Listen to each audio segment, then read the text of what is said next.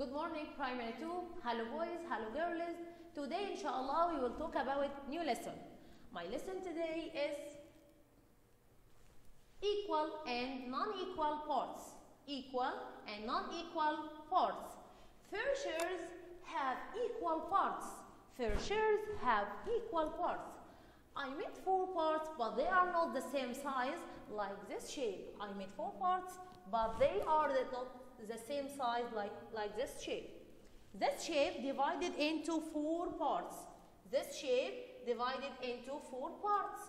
One, two, three, and four. Four parts, parts but, but they are not the same size.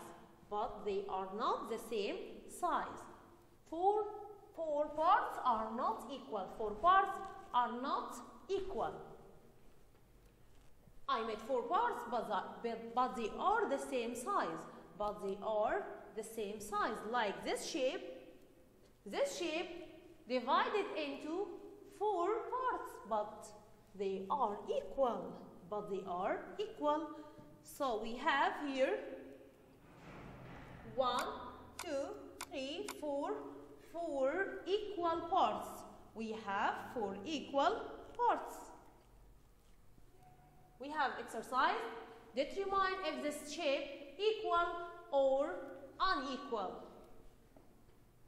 This shape divided into two parts, equal or unequal. Yes, this shape divided into two equal parts. So two parts are are equal. Number two, the circle divided divided into three parts.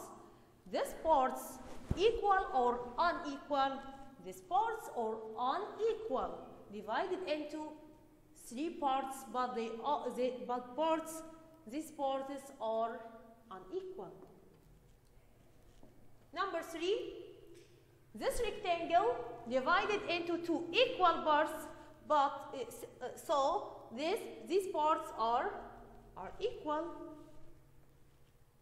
Another example, this square divided into two two parts, but they are unequal. So these parts are unequal. This square divided into two equal parts, so these parts, two parts are, are equal. The last one, this circle divided into part into two parts, but these parts are unequal. You understand? Are equal or unequal shapes? Okay. Good. Thanks for listening and have a nice day.